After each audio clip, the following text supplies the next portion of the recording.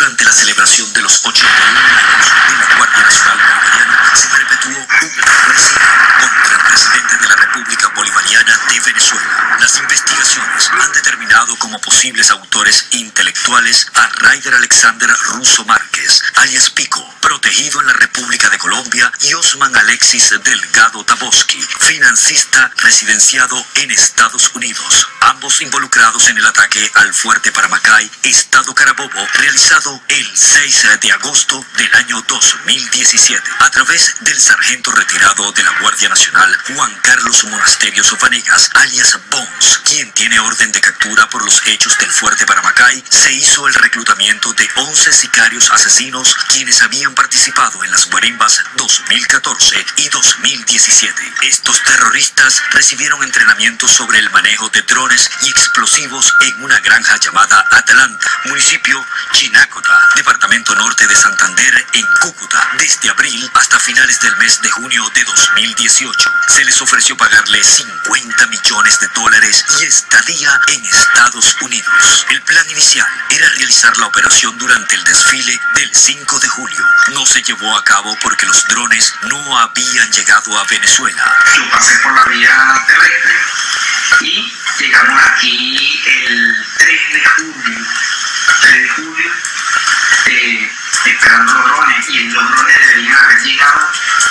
Haber llegado en día 4. Pero en el, en el aeropuerto y lo regresaron. Posteriormente se aplazó esa operación para el 4 de agosto. Ya concretado este plan, se elige como fecha para el atentado el 4 de agosto por ser el evento militar más próximo con participación de gran parte del alto mando político militar. Se armaron dos equipos para manejar los drones y llevar a cabo el atentado terrorista. El equipo 1 operó en una avenida paralela a la avenida Bolívar, próximo al cuerpo de bomberos del distrito capital, esquina de Curamichate a esquina Viento. Desde allí se despegó el dron, específicamente desde un vehículo marca Chevrolet modelo Orlando color negro. El segundo equipo operó desde una oficina alquilada desde hace siete meses en el centro empresarial Cipreses. Ambos drones fueron levantados y dirigidos a la avenida Bolívar, específicamente a la tribuna presidencial con la intención de ejecutar la operación Chunque que consistía en hacer explotar los drones, uno en la parte superior de la tarima y el otro en la zona frontal, lo que provocaría la muerte de todas las autoridades presentes en presidencial. Debido a los inhibidores de señal que instalan los cuerpos de seguridad del Estado, los pilotos de los drones perdieron el control y le informan a Taboski.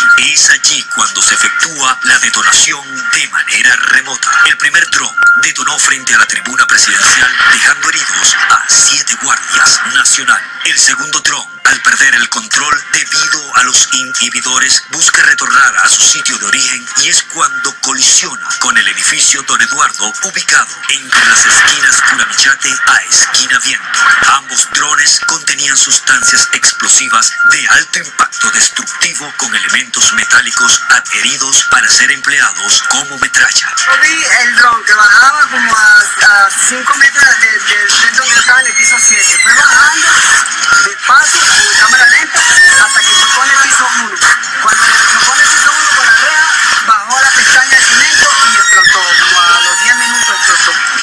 Primeros capturados fueron Juan Carlos Monasterios Vanegas, alias Bones, y Argenis Valero Ruiz, este último piloto del dron, quienes operaron desde el vehículo marca Chevrolet modelo Orlando en la esquina de Curamichate a esquina Bien. Fueron capturados en flagrancia por la inteligencia social y es que unas personas vieron que ellos se bajaron de un vehículo y levantaron el dron. Eso les llamó su atención y al escuchar la explosión los rodearon hasta que llegaron los organismos de seguridad y se los entregaron. Posteriormente, con las declaraciones de estos sicarios, se empieza a hacer la investigación a través de los teléfonos, mensajes, para ubicar a todos los involucrados. El segundo grupo, que operó desde el Centro Empresarial Cipreses, integrado por Janín Fabiana Pernía, alias María, Brian de Jesús Oropesa Ruiz, alias Poeta, piloto del segundo dron, y Alberto José Bracho Rosques, encargado de la avanzada de elevar el segundo dron, alias Porto.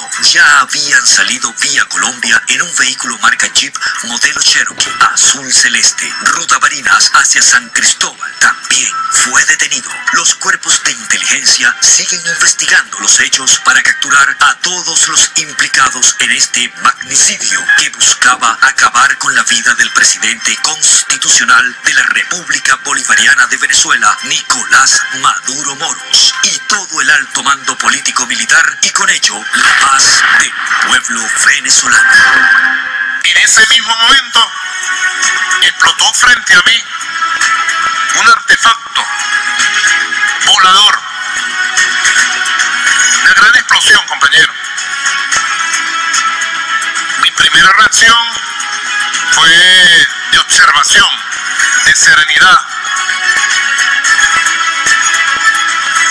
tengo confianza plena en el pueblo y en la Fuerza Armada, plena de su lealtad. Y a mí me protege Dios. Sí, me protege Dios, pero aquí en la tierra me protege el pueblo y la Fuerza Armada.